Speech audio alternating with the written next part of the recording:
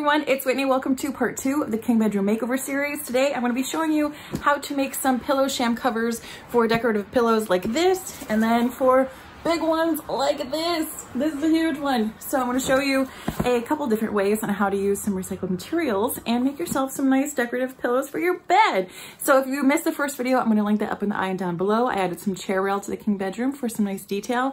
And then the next video I'm gonna post is going to be how to make a luxurious and cozy bed. If you're new here, hi, welcome. My name is Whitney and I help you DIY a cozy home. I post videos on DIY thrift flips, home project renovations, home product review. So if you like videos like this, this, give it a thumbs up, and consider subscribing. I would love to have you here. All right, let's get to making some pillow covers, sham covers, pillowcases, whatever you call these things. The pillow inserts I ordered from Amazon arrived. Let's open it up and see what they look like. This is the Sensorpedic. There was three that I was looking at. The Sensorpedic, there was Idao and Utopia.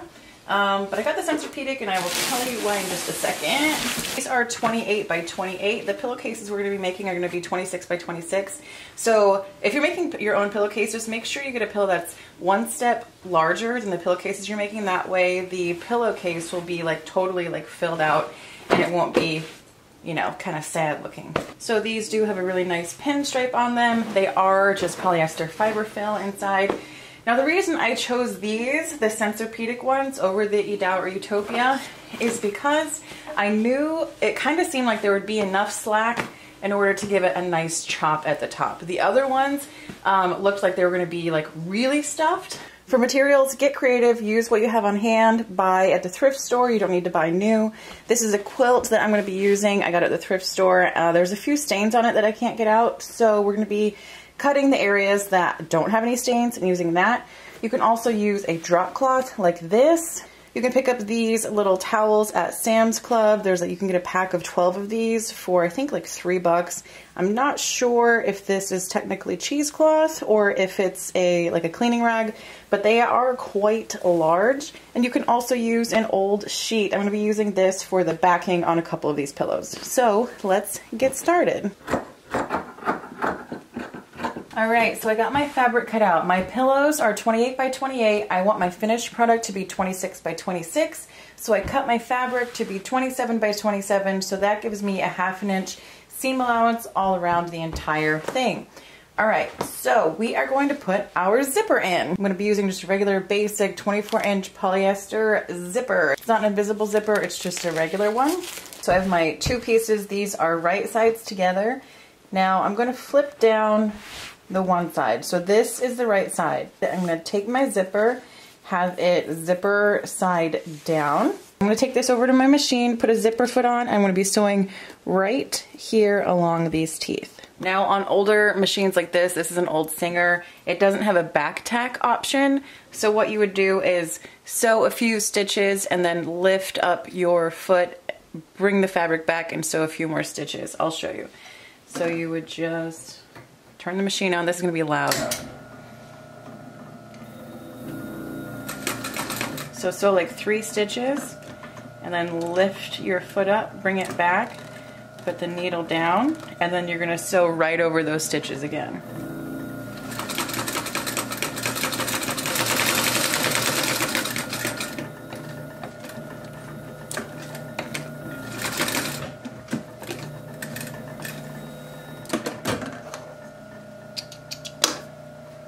All right, so we just sewed our zipper onto the front side of the one panel, and now we have to attach it to the back side. So what I like to do is just go ahead, unzip the zipper, and then line this up. Make sure the edges of your fabric are lined up. Line up the zipper tape, pin it down, and then sew it on down. All right, so we just sewed this part right here. Now, if we flip it over, zip it up, hey, hey!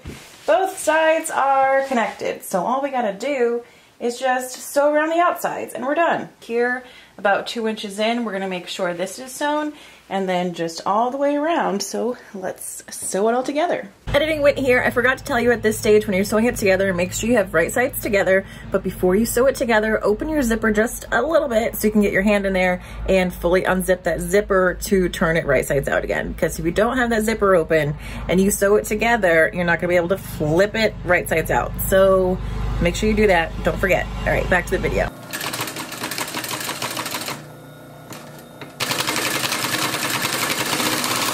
Now we're going to clip our corners. You're not going to want to cut through the threads. Just kind of like snip out the corners. That will help this corner be nice and crisp. So this is why it's important to make sure your zipper is open a little bit. Put your hand in there and open the zipper all the way and we're going to turn it right side out. Push your corners out so they are nice and kind of pointy. And the same thing with the corners by the zipper. Make sure those are nice and crisp. Now, if you want this to be like super profesh, before you turn it inside out, you could uh, press all of your seam allowances open, and that would make all of the edges really, really nice, but we're not gonna worry about that.